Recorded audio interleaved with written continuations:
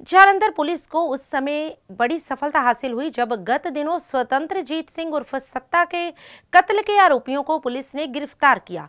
इस संबंध में जानकारी देते हुए डीसीपी जसकिरण जीत सिंह तेजा ने बताया कि तीनों आरोपियों को हरिद्वार से गिरफ़्तार किया गया है। जिनकी पहचान नीतीश, हिमांशु और राहुल सब्रवाल के तौर पर हुई है। आरोपियों ने रंजिश के चलते इस वारदात को अंजाम दिया था। इनमें एक सोलह वर्षीय नाबालिग भी शामिल है। पुलिस ने आरोपियों के पास से वारदात में इस्तेमाल किए गए दो बेस बैट एक लोहे की रॉड, दो मोटरसाइकिल और मृतक स्वतंत्र जीत का मोबाइल फ़ोन भी बरामद किया है और अगवा किए गए चौकीदार मुकेश कुमार को भी बरामद करने में सफलता हासिल की है।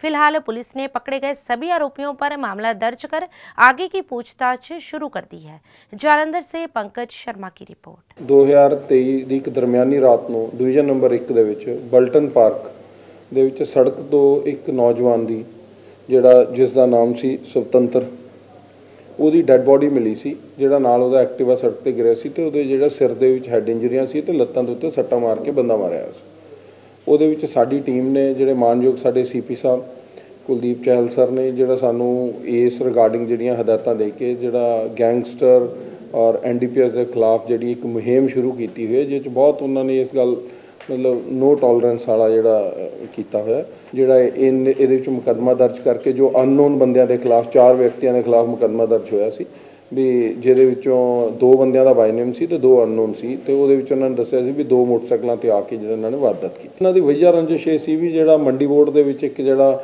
ਮੰਡੀ ਬੋਰਡ ਨੇ ਇੱਕ ਠੇਕਾ ਦਿੱਤਾ ਹੋਇਆ ਸੀ ਸਬਜ਼ੀ ਮੰਡੀ ਦਾ, ਜਿਹੜਾ ਗੱਡੀਆਂ ਦੀ ਪਰਚੀ ਕੱਟਣ ਵਾਲਾ। ਇਹਦੇ ਵਿੱਚ ਜਿਹੜਾ ਮੇਨ ਬੰਦਾ ਜਿਹਦੇ ਨਾਮ ਤੇ ਠੇਕਾ ਇਸ਼ੂ ਹੋਇਆ, ਉਹ ਅੰਮ੍ਰਿਤਸਰ ਦਾ ਰਹਿਣ ਵਾਲਾ ਹੈ।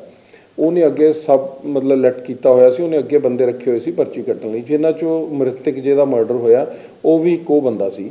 ਤਾਂ ਉਹਦਾ ਆਪਸ ਇਹਨਾਂ ਦਾ ਉਸ ਪਰਚੀ ਕੱਟਣ ਤੋਂ ਤੇ ਪੈਸਿਆਂ ਦੇ ਲੈਣ ਦੇਣ ਤੋਂ ਰੌਲਾ ਸੀ ਵੀ ਅਸੀਂ ਮੈਂ ਮੁਨਾਫਾ ਲੈਣਾ, ਉਹ ਕਹਿੰਦਾ ਮੈਂ ਲੈਣਾ। ਇਸ ਆੜ ਦੇ ਵਿੱਚ ਇਹਨਾਂ ਨੇ ਪਹਿਲੋਂ ਉਹਦੇ ਜਿਹੜਾ ਜਿਹਦਾ ਮਰਡਰ ਹੋਇਆ, ਉਹਦੇ ਨਾਲ ਇੱਕ ਚੌਂਕੀਦਾਰ ਸੀ ਲੜਕਾ। ਉਹਨੂੰ ਪਹਿਲੋਂ 12 ਵਜੇ ਰਾਤ ਨੂੰ ਉਹਨੂੰ ਕੁੱਟਿਆ। ਉਹਨੂੰ ਕੁੱਟਮਾਰ ਕਰਕੇ ਉਹਨੂੰ ਚੱਕ ਕੇ ਨਾਲ ਲੈ ਗਏ, ਤਾਂ ਫਿਰ ਉਹ ਤੋਂ ਬਾਅਦ ਅੱਗੇ ਜਾ ਕੇ ਉਹਨੂੰ ਫੇਰ ਕੁੱਟਿਆ, ਕੁੱਟ ਕੇ ਉਹਦੀ ਵੀਡੀਓ ਬਣਾਈ ਤੇ ਉਹਨੂੰ ਭਜਾਤਾ। ਉਸ ਤੋਂ ਬਾਅਦ ਸਤਨਾਮ, ਜਿਹੜੇ ਬੰਦੇ ਦਾ ਮਰਡਰ ਹੋਇਆ, ਉਹਨੂੰ ਸੱਤੇ ਨੂੰ ਉਹਦਾ ਜਿਹੜਾ ਇਹਨਾਂ ਨੇ ਮਰਡਰ ਕੀਤਾ, ਉਹਨੂੰ ਰਸਤੇ 'ਚ ਰੋਕ ਕੇ। ਤਾਂ ਇਹਦੇ ਵਿੱਚ ਚਾਰੋਂ ਦੋਸ਼ੀ ਜਿਹੜੇ ਆ ਗ੍ਰਿਫਤਾਰ ਕਰ ਲਏ ਆ। ਤਿੰਨ ਦੋਸ਼ੀ ਜਿਹੜੇ, ਇੱਕ ਨਿਤਿਸ਼ ਹੈ, ਇੱਕ ਹਿਮਾਂਸ਼ੂ ਹੈ, ਇੱਕ ਤੇ ਰਾਹੁਲ ਸੱਬਰਵਾਲ ਤੇ ਇੱਕ ਜਿਹੜਾ ਤੀਸਰਾ, ਚੌਥਾ ਬੰਦਾ ਹੈ, ਉਹ ਜੁਵਨਾਈਲ ਹੈ 16 ਸਾਲ ਹੈ। ਇਹ ਚਾਰੋਂ ਦੋਸ਼ੀਆਂ ਨੂੰ ਗ੍ਰਿਫਤਾਰ ਕਰ ਲਿਆ।